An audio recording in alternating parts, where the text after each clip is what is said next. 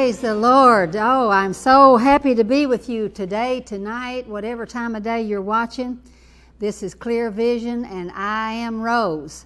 And boy, what a message we have today. Hope equals double. My goodness, hope equals double. Uh, God's really had me in this uh, the last few weeks on how we can receive more from Him, more from life, more from the Word than we've ever received before. So let's get right on into our message in Zechariah 9 12, and we're in the Old Testament, and I'm in the Amplified Translation. And I'm going to back up um, just real quick into verse 8. Let's see if I want to do. No, I'm not going to get that one. I'm going to get that one second. Let's do 9 12 first. 9 12. Return to the stronghold of security and prosperity. You prisoners of hope, even today do I declare that I will restore double your former prosperity to you. I know what I know what it's like to have have everything you you've worked in your life for stolen from you, or the enemy tries to steal it. I know what that's like. I know what it's like to uh, have lost a, a, loved one in, in a death or, or seen a. De- I don't like that word loss because we don't lose loved ones. They go on to be with the Lord, but I know what that's like. I know what it's like to um, have seen tragedies in people's lives and in my own life that you just look back and uh, look at them at the time and you go, What is this about? I know what that is. But God tells us He is a stronghold. He is our stronghold, and we are a prisoner. We're a prisoner of, of His strength. We are a prisoner of hope, a prisoner of His strength. This is who God says we are. Now, uh, when you expect that in your life, when you expect faith in your life, when you expect when things are really bad, that you can go into the stronghold of God and He's going to take on protecting you, then that's where you're going to live with Him in victory. God wants you in victory. Let's, let's read back in, um, in Zechariah 9 8. And I, did, I didn't really want to skip down there this quick, but the Lord's really encouraged me. The Holy Spirit's telling me to go there. God's talking here, and He says, I will encamp about my house as a guard or a garrison, so that none shall march back and forth, and no oppressor or demanding collector shall ever again overrun them, for now my eyes are upon them. Beloved, God has got you in His fortress, His fortress of His strength, His protection, His provision. And you don't have to figure your whole life out. You don't have to jump up one day and say, Well, I need to do this, or I need to do that, or I want to become this, or I want to become that. God wants to protect you and provide for you and show you the path that He wants you on. And there will be continual efforts by the enemy to try to destroy, steal, kill, rob you in every way but you are in the fortress of, of Almighty God. This is one of the greatest words of hope to hold on to there's ever been.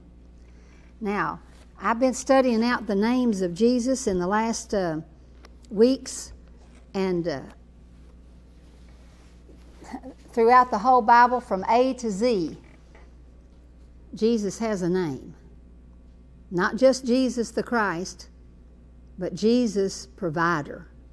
Jesus, protector. Jesus, the stronghold. Let's look at uh, Nahum 115 real quick. You're going to be so amazed at, at what this is talking about. I, I got into it and I just couldn't I couldn't get into it fast enough. Let's find out where it is here. We can't get in the Word deep enough. We can't talk about the Word enough. We can't find it even. I'm looking down everywhere. Let's see here. We want to make sure we're going to read this right. And we're in 115. I don't know if uh, John has it on the screen, it doesn't matter.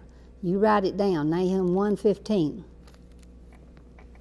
Behold upon the mountains the feet of him who brings good tidings, who publishes peace, who performs their vows. Behold, no more shall anyone come against you or pass through your lands. No more shall you be cut off. See, the time back back in Nahum is the is the same time for you and me today. God has got us in that time now with Christ, where we'll not be cut off. We'll not be put into positions where we're uh, uh, caused to have lack and that we are under the strongholds of the enemy anymore. God didn't intend for us to be in that stronghold. And He wants us to know that we can live in absolute comfort, absolute peace, absolute joy, absolute proof that we're living having come through the valley of the shadow of death. See, that Psalm 23 talks about the valley of the shadow of death, not because we're going to stay there. The world is the valley of the shadow of death. The circumstances of the world that are negative and hurtful and harmful, that's the valley of the shadow of death. And God said in, in Psalm 23, You will walk through the valley of the shadow of death, and no evil or calamity can come near you. The Lord is the good shepherd and He leads you and He guides you beside still waters. He makes you lie down. He makes you lie down in green pastures. He makes you lie down. That means that He, he doesn't force you. God ain't going to force you, but He provides a place for you to lie down, a place in His presence, a place where you continuously repeat, The Lord is encamped around me as a fortress. He is my stronghold. He is my protection. He is my provider. God doesn't just have provision for you, He is provision. He doesn't just have finances for you, He is finances. He doesn't just have healing for you, He is healing. He is the Savior. He is the Savior that garrisons around you, protects you, goes around you as your stronghold. He is your stronghold. Well, if He's your stronghold, then there's no strongholds that can come against you. If God is your stronghold, and He is, then there's no strongholds that can come against you. Against you. So if you have uh, what you call, see, a lot of times we want to call strongholds in our life things that we don't know how to get through. But something can't have a stronghold on you. It can't because God is your stronghold. He has you in His presence, He has you in the palms of His hands. Isaiah 49 16 says, I have carved you in the very palms of my hands, and there I will never leave you or forsake you. I will never forget you. I love you. That's who you are. That's who God's made you to be. And you're, you're uh, protected like a, like a strong, it says in my little name above every name book here, it says you're protected and established like a well equipped, equipped army. The temple of the Lord was built, and it was not built by might or power. It was built by virtue of the Lord's Spirit. It was built by the Spirit of God, and your protection comes by the by the Spirit of God. Your protection is by the Spirit of God, not by carnal weapons, not by what you can come up with. I had a wonderful partner in the ministry call me yesterday, and uh, she's been in strife and confusion for over a year in her life. And she called me and she said, I, I can't take anymore. I want rid of all of this. And I said, What do you think's causing it? What has happened in this last year to cause this? She said, Well, it started when I started coming against my boss at work. And I started believing that people were against me on my job. And I thought it was a racial situation. And I started coming against them, and then I got fired. And then I hired an attorney, and I got the attorney to come against them. And I said, Now, since you've had the attorney, how's things gone? She said, It's not gone well. I now can't find another job, and I'm losing the income that I had saved to take care of me in, in my later years. I said, All right, are you ready? Are you willing to lay this situation down? Are you willing to walk away if that's what the Lord tells you? See, sometimes the Lord wants us to stand firm in situations and not and, and be strong in the stronghold that He has for us. Sometimes there, there are those situations that bring us that peace because we are to be uh, uh, a, strong mountain by the favor of God when we know something is right. But when we are attacking, when we're becoming offensive, when we're coming against something, we're taking the steps to create havoc in somebody's life. That's not what God's talking about. That's a different situation. And that's where you've got to step back and say, Father, this is not of you. This is not of you. And by your Spirit, O oh God, are, is my weapons of warfare. God told me clearly uh, when he spoke to Jehoshaphat in, in 2 Chronicles 20 Jehoshaphat, the battle is not yours. You don't fight this battle. I'll fight it. I'll fight it on your behalf.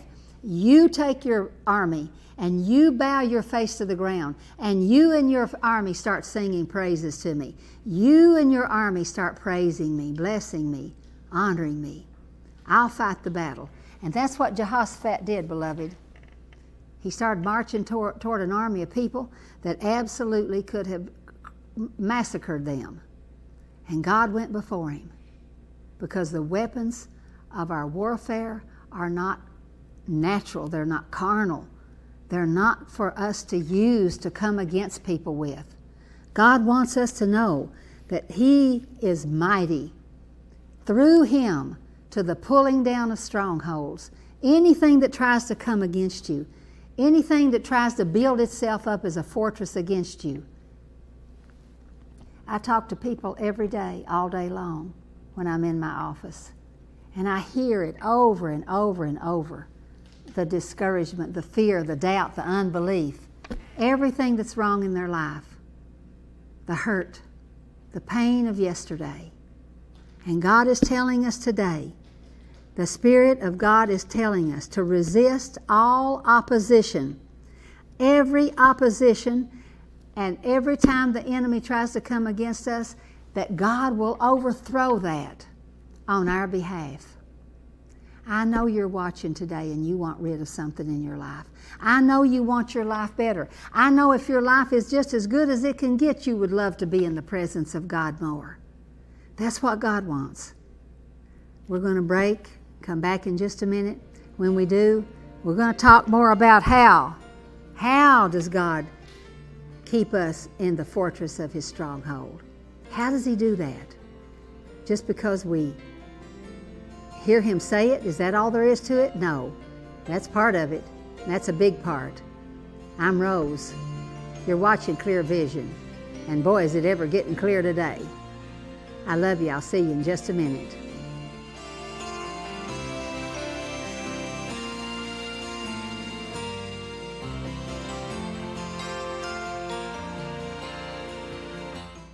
Order today your DVD copy of Strong Mountain. Let God establish you in His power. Stop seeing negative circumstances as greater than they are. You are God's strong force on this earth.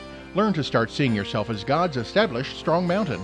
Rise up blessed every day. Order your DVD copy of Strong Mountain. Request today offer number 25 titled Strong Mountain. You can support this ministry with a seed gift, a monthly gift, or a one time gift. Just send your donation to Rose Ministries, Box M, Burgin, Kentucky 40310.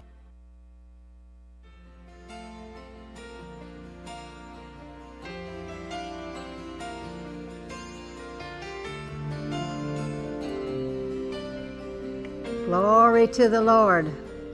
I am so glad you stayed with me and that you watched that wonderful offer for the Strong Mountain DVD. I know John's going to get in on it here in a minute and show you. I want you to understand how to stop making mountains out of molehills and to by the favor of the Lord God Himself in, in Psalms, He says, By my favor, you are my strong mountain.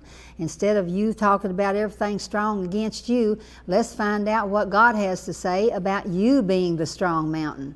You don't have to climb mountains, you are a mountain. You're God's strong mountain. So order your DVD today request offer number 25 and let us send that to you and then you pray about how God would have you bless the ministry and sow to the Lord. And order that and when you do you're going to get your little 30 day book. 30 days the uh, champion in you. That's let me see there you go. 30 days the champion in you. 30 days of scripture 30 days of teaching 30 days of prayer 30 days to change your life. If you don't need your life changed, then maybe you need to think about how much better God wants to make it. He wants your life better. He wants you in His presence more than ever. So get these two pieces and let God move in your life greater than ever before. Call the ministry, ask for me, ask for one of the prayer uh, team staff, ask for uh, the product department, ask for whoever you want to. We can all take care of you. So God loves you, and we're going to talk further now about uh, the fact that we are in the stronghold of God. We are in His stronghold, and He is declaring today, this very day, I am declaring, He says, I will restore double to you. Oh my goodness, how many times have I heard somebody say, I just want my marriage back like I had it? No, you don't. No, you don't. You don't want your marriage back like you had it. If you wanted it back like you had it, you'd be in the same mess you're in today in a few more months. You want it better. You don't want the relationship you had before. You don't want the job you had before. You don't want the circumstances in your life you had before. You want double return restored to you of, of anything the enemy's robbed from, me, from you. You want better. You want what God wants for you. And let's talk a minute here about what God says about who He is, about who Jesus is. He says Jesus is the King of glory. He's the King of glory. He came riding into town on a little old donkey as a king. He didn't have a big old racehorse coming in there. He didn't, he didn't ride in like uh, uh, some of the kings back in the uh, Old Testament. He didn't ride in like that. He came in on a little old donkey and he was the King of glory. Don't be misled. Don't think that everything that has a great big old fanfare is necessarily from the Lord. It may be, but sometimes the simplest of things can be from God. I've learned that from being on my farm. I've learned that from watching a, a leaf fall from a tree and float down to the ground and land a certain way. And the sun hit it just right at the right moment that I needed that little moment from God. I've learned that from watching the sun glisten on the pond water and see a little bird come across the water and land and sit there and look around and then take off. There are so many things that speak about the glory of the Lord. And then the Lord tells us that He is the essential essence of our life and that His goodness is the essence of His life. That's in uh, Zechariah 9 17. He is good. He's nothing but good. He's nothing but strong. God isn't weak. It may look like He's weak, but I'm going to tell you something, honey. 2 Corinthians 10 4 tells us and I'm going to read it right from the Amplified. For the weapons of our warfare are not physical weapons of flesh and blood, but they are mighty before God for the overthrow and destruction of strongholds. If there's things trying to come against you in your life or that have been against you in your life, get in the Word of God. Ask God to show you. Call the ministry. Ask me. I'll show you where it is to read that word over what's coming against you. God wants your future filled with nothing but joy and blessings and abundance. That's all He wants in your life. He wants to double restore everything to you that's ever been taken from you. He doesn't want you just getting back what you had, He wants you double restored. Oh, I'm in that right now in my life, and I'm telling you, it's great. It's great to see God restore. But you got to do some things. You've got to make some decisions for God to be able to do that. You've got to understand that Jesus Christ is the center of your life. And He's majestic in that center. He is there as supreme strength. He is there as omnipotent power, the only power that you need. You don't need the power of an attorney. You don't need the power of a court. You don't need the power of finances. You don't need the power of a job. You need the power of God. And then God brings all those things into your life. Jesus is excellent. He is excellent, and His energy and His strength is eternal. He's not strong today and weak tomorrow, even when He died even when he died on the cross, even when he gave up his spirit and his body died and he went on to be with the Father in heaven after that, that three days in the grave and, and 40 days coming back, he was the strongest there anybody could imagine. You remember when he said the last few words there? He said, It is finished. And then, John, in the book of John, it says, And he bowed his head and put and, and, and gave up his spirit. Don't you remember when Jesus said, No one takes my life, I give it up? Don't you remember when he said, No one takes my life, I choose to give it up? And that word, when he said he bowed his head, his head didn't fall over and he died. He de- that word bow in the Greek says he deliberately put himself into a position of rest. That means trusting the Father. Beloved, Jesus never faints. He's not weary. He's not tired. His ability to administrate his strength never changes. It's forever. He's magnificent. He's majestic. He's strong in power, mighty in strength, far above every principality, authority, and might and dominion. That's Ephesians 1:21. Jesus is far above every principality, every authority, every might, and every dominion. You've got something going on in your life, and it's jerked you around and turned you in every direction. Stop today. Sit down. Just sit down and understand God wants to be strong in your life, and He wants you to be strong in Him, in the power of His might. He wants you to know that. He wants you to know that Jesus is the Christ. He's the great God in the flesh. He's God Himself in the flesh. And He's glorious and triumphant over everything. He's your stronghold. Lord, I could sit here and talk about it from now on. He is the he is righteousness and he is gloriously triumphant over every evil or everything that comes against righteousness. Jesus told me this way. He said, Rose, I have not just got deliverance for my people, my children. I don't just have uh, defense for them. I have perfect defense. I have perfect, full deliverance once and for all because I am their stronghold. I want to restore double to my children.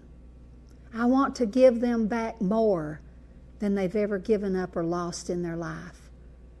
I want them to have the abundance, the overflowing, the cup running over life that I sent my son for them to have. You remember Jesus said, I've come that you may have and enjoy life and have it in abundance to the full till it overflows?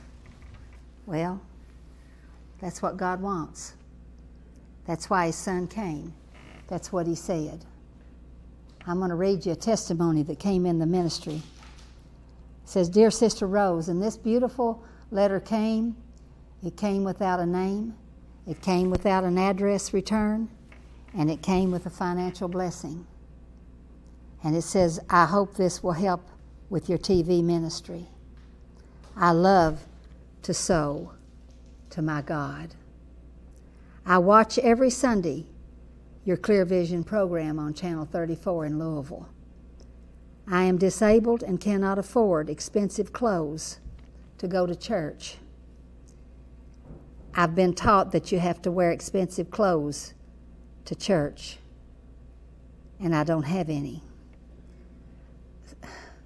Beloved, that makes me cry to think that churches are still teaching you've got to wear expensive clothes to come to the church. And this sweet letter says, Even though I am clean and neat, I was told once that maybe I could come to a prayer meeting on a Wednesday night because they didn't dress nice on that night like Sunday. My God. Church, come on. I'm so thankful this person is watching this program. And they go on to say, Your program means so much to me because I get to hear God's word. Please stay on the air. Your loyal viewer.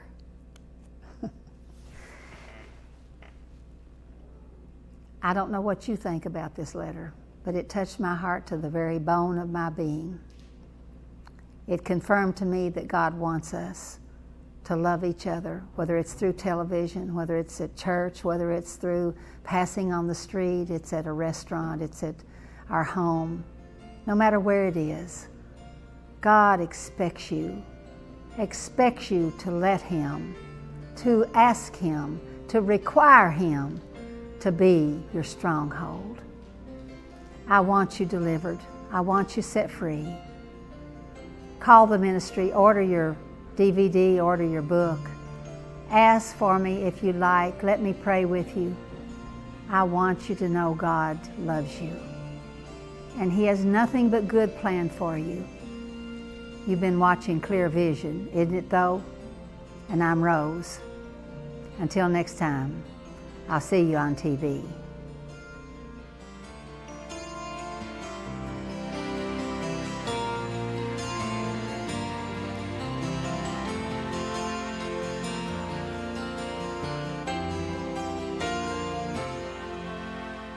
Order today your DVD copy of Strong Mountain. Let God establish you in His power. Stop seeing negative circumstances as greater than they are. You are God's strong force on this earth. Learn to start seeing yourself as God's established Strong Mountain. Rise up blessed every day. Order your DVD copy of Strong Mountain. Request today offer number 25 titled Strong Mountain. You can support this ministry with a seed gift, a monthly gift, or a one time gift. Just send your donation to Rose Ministries, Box M, Burgin, Kentucky 40310.